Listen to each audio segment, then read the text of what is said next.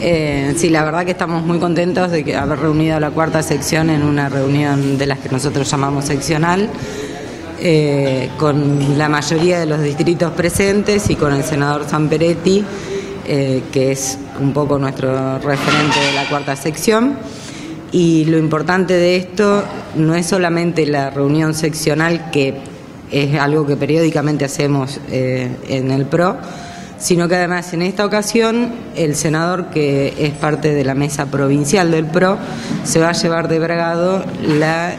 lista de la Junta Normalizadora de Autoridades del PRO Bragado. El tema es que yo siempre digo, y todos los que estamos en este grupo somos conscientes de que si no hacemos una elección como la del 2009, no vamos a tener representatividad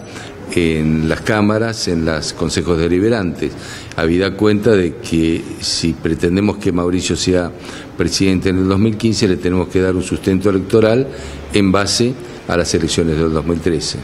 Este es una oportunidad importante para ir incorporando concejales en esta sección electoral. No es lo más fuerte el PRO como ocurre por ahí en otros lugares donde Macri este, es la figura dominante, o sea que va a tener que hacer un gran trabajo. Sí, no, sin ninguna duda, pero nosotros tenemos eh, concejales en la sesión y sin ninguna duda, en duda estamos en mejores condiciones que lo que estábamos en el 2013, porque hoy tenemos las juntas eh, promotoras en la mayoría de los distritos, estamos eh, con representatividad en 120 distritos de la provincia,